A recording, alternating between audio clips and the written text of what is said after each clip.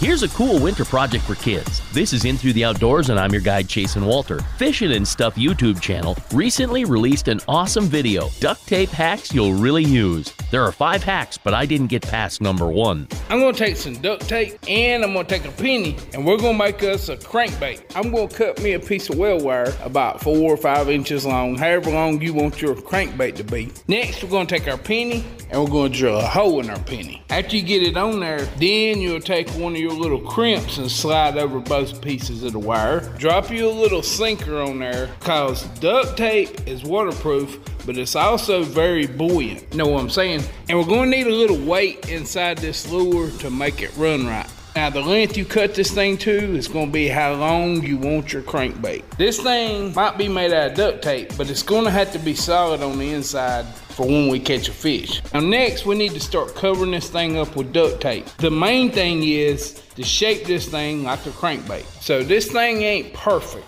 by no means, but I think it's gonna work. It ain't pretty, but there you have it. Awesome duct tape pack. And you should go check out my channel page. Think about it, you may get 50 crankbaits out of a roll of duct tape, and that's more money in your duct tape wallet. Fishing and stuff, probably the most awesome DIY YouTube channel ever. Go check it out. I'm Chasen Walter, and that's In Thru The Outdoors. Find more on Facebook, YouTube, and at chasenwalter.com. Thanks for listening.